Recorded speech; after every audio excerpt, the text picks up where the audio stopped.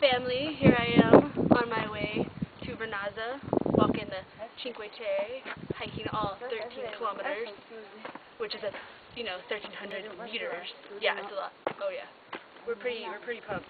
Nadia is doing beautiful uh, filming work. Now I'm gonna be upside down. Okay, hello again. Just wanted to say hello, and I'll see you in a month.